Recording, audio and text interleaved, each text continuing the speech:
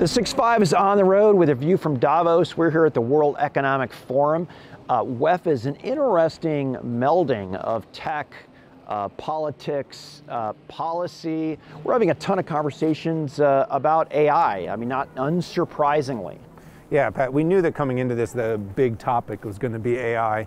A lot of this sort of historic uh, trend lines, you know, every year there's a theme here. In the last couple years, it's been all about this kind of build out of infrastructure. This year, I feel like it's kind of like the AI ROI. People are really trying to say, how are we going to take AI and make it meaningfully drive economic growth? And so, coming together with the best price performance area in the market here in Davos, more meetings, more conversations, and of course, so many here on the Six Five.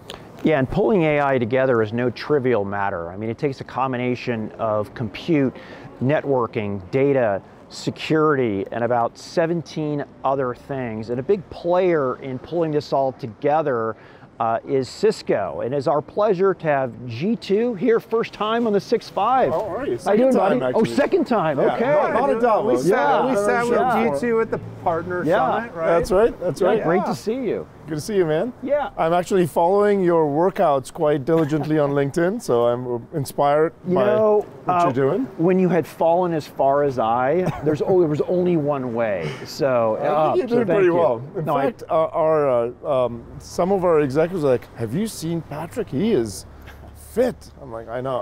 I, I, I feel terrible now." No, I appreciate that. but hey, let's talk about more interesting things than my health journey.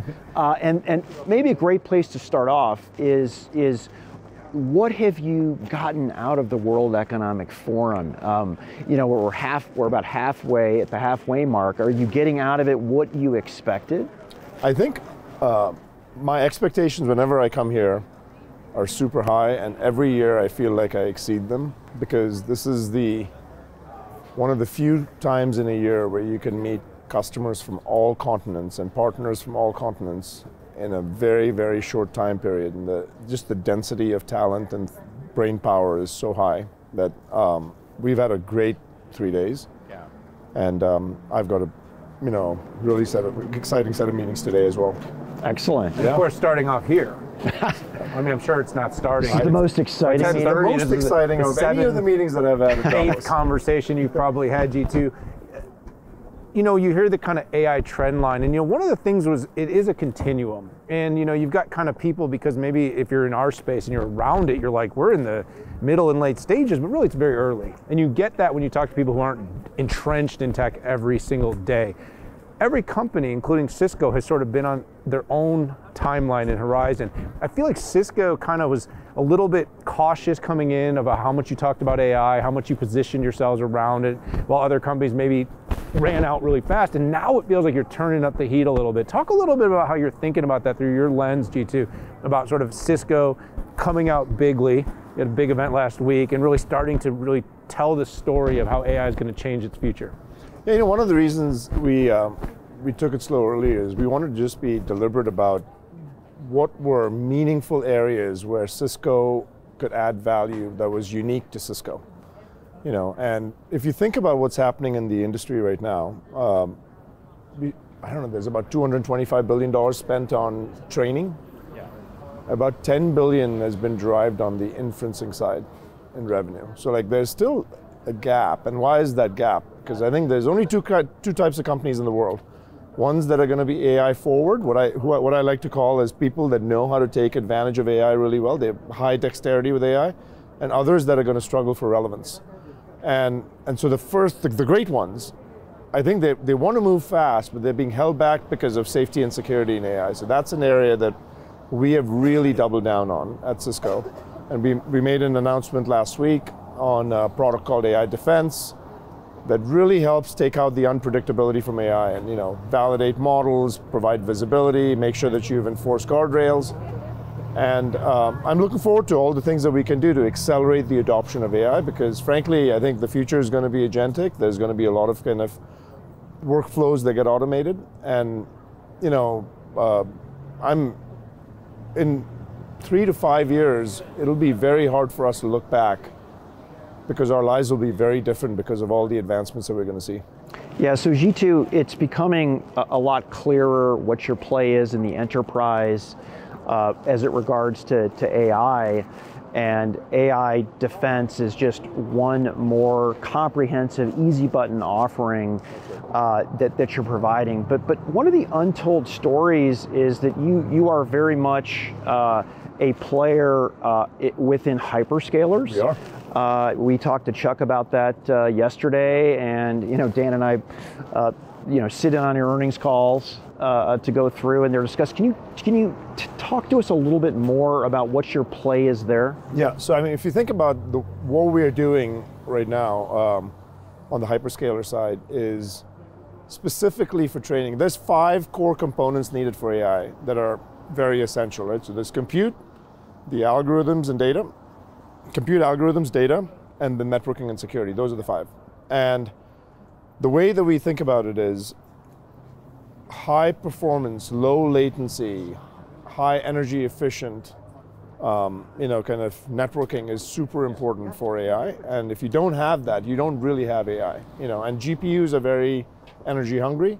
Every kilowatt of energy that you can save on the network can be given to the GPU so that they can process more. So I think there's there's a lot of appetite in the market for saying, give us that low latency, high performance intra GPU communication fabric. Right. Because if you think about the amount of packets that have to move through the GPUs in a cluster, uh, it's a pretty high amount, and every millisecond counts, you know, on those workloads. Now, by the way, that's on the training side. On the inferencing side, I think the market's going to be even larger. And you know, some we were, we were talking to Jonathan Ross from from Groq. Um, and We're, we're uh, both investors. yeah, yeah. and um, he was uh, he was as- I, I think inferencing is probably going to be like 20x Right.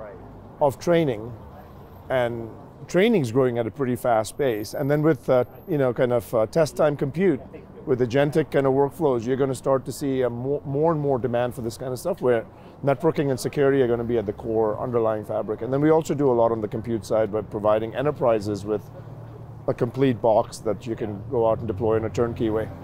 It's, it's really interesting. Um, you know, you started going down that path. I, I was sort of a choose your own adventure. I had these few different paths I was going to take you down now. But when you mentioned uh, that conversation with Jonathan, you know, we were having a kind of inter- interesting conversation. But there's really this kind of almost Apple versus Android thing going on with AI right now. You know, there, of course, Nvidia has been a just a tremendous success. And you have to give it to Jensen. He's Absolutely. done such an amazing job. Absolutely. Yeah. But the proprietary networking that exists inside and outside of the rack is creating this kind of really big, you know, debate over time. And it, you know, Cisco obviously going the Ethernet and the open standard. And when we talked to Jonathan, talking about kind of how they've developed protocol, and then they're using like 25 gig networking uh, in, in switching, and they're creating this amazing throughput and inference. I mean, how does that kind of play out in your mind? The sort of proprietary, open. Uh, what do you see in the future there? Well, we think in the long term, you know, Ethernet will be the standard that people will use for communication, and so I, we, we're betting on it. We've actually um, been been quite consistent in that point of view for the past few years, and I think it's going to be good for the industry. But I, I have to give a lot of um, credit to, you know, every player in this market, and I think NVIDIA has done a fantastic job of not only providing the infrastructure, but leading the way and also sharing what kind of applications are going to be very useful in the market. So, uh, you know, we, we're partners with NVIDIA. We work very closely with them, and we want to continue to make sure that that partnership only enhances over time. So the W in uh, WEF is World. World. We're at a multinational event here, and there's a lot of discussion, particularly with all of the different countries and governments here, as a need for a hybrid AI sovereign cloud. And I'm curious how Cisco is supporting the, this notion of a, a sovereign AI cloud and the hybrid uh, bonus points, uh, meaning going from on-prem uh, to the public cloud. So, look, I think there's going to be some level of interest that people are going to have in one repatriation of data centers back to the private cloud with AI, and that's going to happen. And that's where we have our enterprise offerings like AI pods that we announced at Partner Summit uh, in November uh, that are going to that are really you know kind of picking up in demand. Uh, I was just with the government uh, you know minister of a country um, of a state in the country, and uh, they were talking about exactly the same thing, which is they, they want to make sure that um, cybersecurity is handled. They want to make sure that you know data sovereignty is actually um, you know something that they um, keep in mind, and they want to they want to be the leader in AI. And that's actually very common in any of the government kind of meetings that I'm, I, I have been to in the past couple of days. It's a very common theme, and I think that's great for Cisco because we've got all the infrastructure for making data sovereignty a reality, making sure that you've got the right level of security architecture in place, and doing that with with the level of scale that I think a lot of companies struggle with sometimes. Yeah, makes sense. So Jeetu, as we sort of wind down, I, I want to ask you a little bit more of a the the human side of implementation. You know, in the end, you guys build great products, but you know, our data. We did a survey. We talked to 213 CEOs of companies with more than a billion dollars in revenue, and we were trying to understand. Um, their AI success stories. We partnered with Kearney, the, the big management consulting firm, on this. And when we we basically the answers and the outcomes of it was that digital companies are really struggling to actually get the people to buy in to this AI transformation. Same as every other, whether it's been big data, solo mobile, you know, whether it's been cloud or whether it was uh, the digital transformation. Kind of interesting is you're having these conversations with governments, you're having conversations with large enterprises and smaller businesses, because of course Cisco serves them all how are you sort of talking about or hearing about the part of like getting the buy-in? Because the tech works. I mean it's evolving but the tech works. The buy-in seems to always be the hard part. Yeah i think the way that we've actually seen this evolve is there's getting to be more and more of a recognition that the composition of the workforce of the workforce is fundamentally going to change. And what i mean by that is today 100% of the workforce is humans yeah. I think tomorrow you're going to have AI agents, you're going to have robotics, you're going to have humanoids that are going to actually augment the workforce. And as that happens, your architecture will fundamentally need to change yeah. across everything across connectivity, across security, across the way in which your workflows operate.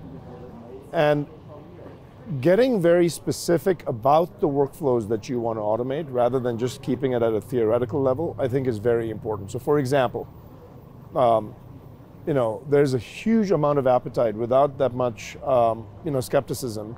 Around 90, 90 to 95% of first line calls that organizations take um, from their contact centers are going to be through a virtual agent first. That'll actually fully get sure. resolved, yeah. and only 5% get escalated. And that'll right. probably happen within a year to two. Interesting. So those are the number. kind of use cases, software development, software engineering, you will be able to buy in 2025 software engineers to augment your existing developer workforce that'll be able to do full jobs.